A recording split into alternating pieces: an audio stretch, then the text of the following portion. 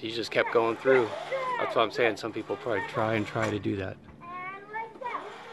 It actually felt pretty good. Did it? Yeah. Tammy's doing really well.